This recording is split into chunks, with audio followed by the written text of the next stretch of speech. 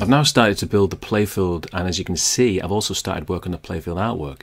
I decided to use an existing table layout to start my table so I chose Iron Man which has two ramps, an orbit and a wide open playfield which is perfect for my Bond table. So I loaded the Iron Man table into the editor and removed all the textures and toys, then the playfield lighting and all the music and sound effects, so only the whiteboard layout remains. All this will provide a good starting point for my own table build. The next step is to add artwork to the table, so I created a blueprint which will show me where all the objects in the table are located so I can design the table around them. As with the backglass, I search the internet for images related to the table's theme, in this case James Bond.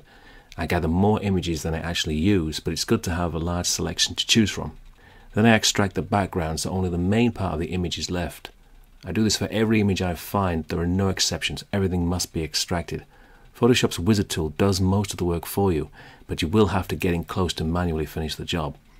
If you can, find images with plain coloured backgrounds, like Oddjob for instance, who had a plain white background so one click of the mouse is all that was needed to extract him.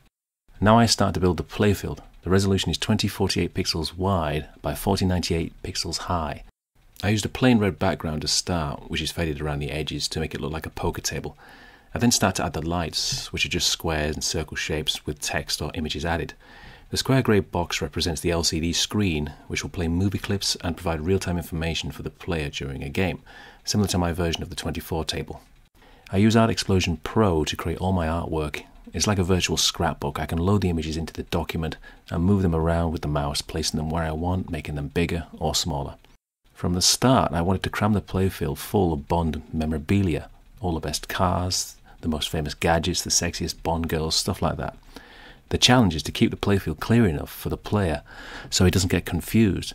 So the lights have to take priority, which is why I always start with the lights when designing the playfield artwork. Bond 50 will have 10 main mission modes, the 5 movies and the 5 villains.